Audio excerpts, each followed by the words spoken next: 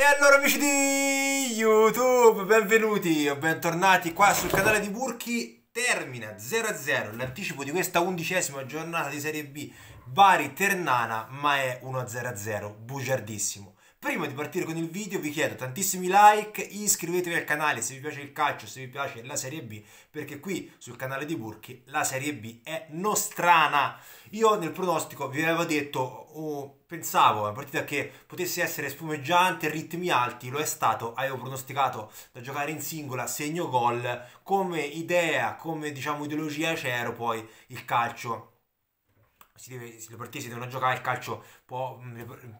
è strano, nel senso, cioè, da, da, tanti punti di vista è bello ma anche strano tante volte e ecco poi le partite possono prendere anche pieghe diverse è strano il calcio perché il Bari ha dominato in lungo e largo la partita se questa partita qui finiva 2-0 eh, il, il, Bari non avrebbe eh, rubato niente ma ricordato stasera boh, in certi momenti mi sembrava di vedere a tratti mi sembrava di vedere giocare al Napoli il Bari scambi stretti, eh, recupero alto, intensità, velocità, dribbling,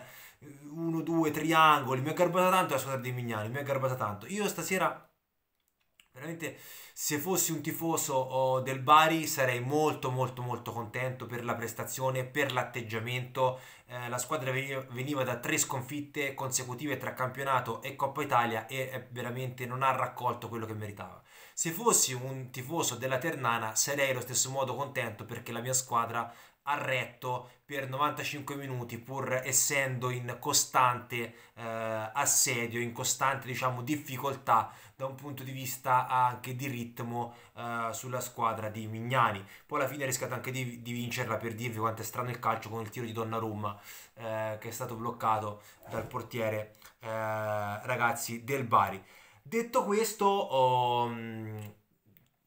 la Ternana è anche lecito un, un, calo, visto anche comunque il periodo, il periodo dispendioso da, dal punto di vista fisico e mentale, però la squadra comunque anche oggi ha retto bene, è venuta, è andata a Bari, ehm, è andata fuori casa appunto ha fatto una partita di sacrificio, ha fatto una partita di attenzione, ha fatto una partita anche di limitazione della squadra avversaria eh, è stato bravo Lucarelli a prepararla perché io penso se l'aspettava comunque di poter andare in sofferenza. Eh, predominio territoriale netto da parte del Bari. Stasera, se probabilmente lì davanti c'era insieme a un Chedira, un Antenucci, io penso la partita sarebbe stata vinta dagli uomini di Mignani. Perché? Perché se l'altro attaccante, che non ricordo il nome, eh, il eh, Scale, Scadler che io non conoscevo, ehm, se da una parte da un punto di vista de, di riempimento di aria ti dà delle garanzie in più, Antenucci è quel, è quel classico giocatore complementare perfetto perché dira in determinate partite per come gioca il Bari, perché comunque se poi vai a fare un, un determinato pressing alto, recupera, recupero palla e verticalizzazione andando, andando a cercare la porta, è quel giocatore perfetto. In più se invece devi ripartire magari con una costruzione giocata, con una costruzione costruzione mirata e lì davanti c'hai giocatori come Botta, come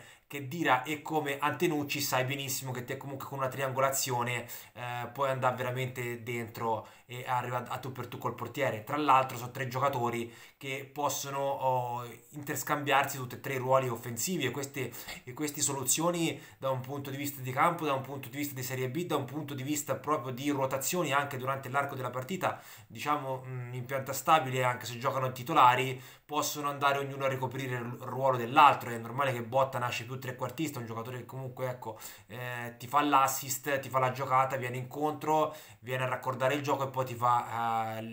l'ultimo passaggio. Però è anche vero che questo discorso qui lo sanno fa anche che dire e anche Antenucci, se da un punto di vista poi di ehm, caratteristiche si, si va a analizzare la qualità. Va anche detto che queste sono le due squadre che secondo me, da un punto di vista uh, personale, sono le due squadre che più mi hanno impressionato uh, per un discorso di gioco, per un discorso di ritmo, per un discorso di andare poi a preparare la partita, perché poi la Ternana è una squadra che comunque non ti fa giocare bene, è una squadra rognosa la Ternana e è brava a fare anche il suo perché poi da un punto di vista anche di palleggio, di uscita, è una squadra validissima assolutamente e c'ha soluzioni, c'ha soluzioni di qualità, perché giocatori come Palumbo, giocatori come Partepilo, anche giocatori come Falletti, eh, sono, sono giocatori che hanno tanta tanta qualità e lì davanti ragazzi ha delle soluzioni importantissime perché poi tre punte del calibro di ehm, Favilli, Pettinari e Donnarumma, insomma, bisogna vedere anche la, veramente la squadra, ma anche dietro, ma anche dietro, perché se poi mi risalta all'occhio giocatori come Mantovani, come Sorensen, come quel terzino destro, che ora non ricordo il nome di Abate, di Akite, ora non mi ricordo come si chiama, insomma, sono giocatori sicuramente forti, forti, forti. Poi, ehm, voglio dire, mm, la, il, il, Bari è più completo come squadra secondo me, se, perché se poi si va a analizzare un discorso di singoli, secondo me il Bari è più completo, perché poi ti risalta anche un giocatore come Folorunzo, che è una mezzala fortissima per la Serie B, dietro anche il Bari, insomma, è una squadra ehm, ben costruita, mi piace. Due parole sull'arbitro, l'arbitraggio non mi è piaciuto, soprattutto nel primo tempo, un, eh, un, un, una metodologia, un'interpretazione arbitrale non per me idonea, soprattutto nei primi 45 minuti, ho visto veramente un riccio, a un certo punto fa un entrataccio su parte Pilo, non venendo sanzionato, per me è molto, è molto, grave il rigore non fischiato al Bari, per me quello era un rigore netto sempre su Ricci e altrettante interpretazioni anche con delle uscite magari dal basso che potevano andare a creare superiorità numerica non sanzionate, va bene di lasciare il gioco, di lasciare andare, ma se poi il fallo è netto, devi fischiare e secondo me se spezzi il gioco anche nella zona di centrocampo il cartellino dovrebbe essere lecito. Ecco, questa è la critica che faccio all'arbitro. Detto questo, partita che veramente mi sono molto molto divertito. Domani seguiremo sicuramente le altre partite, le altre giornate, seguiranno altrettante analisi, seguiranno sempre tutti i contenuti che porto quasi quotidianamente settimanalmente sicuramente qua sul canale di Burki. Io ragazzi vi chiedo soltanto un like, iscrivetevi al canale, condividetelo con tutti i tifosi del Bari, con tutti i tifosi della Ternana che conoscete, ma anche con gli appassionati di calcio in generale e sono curioso veramente di sapere le vostre opinioni, se siete d'accordo con me o meno su, su quanto riguarda questa partita, sulla lettura che ho fatto e ditemi anche quello che ne pensate perché comunque sono molto molto curioso. Come dico sempre, sciabolala a tutti, bella bella bella partita.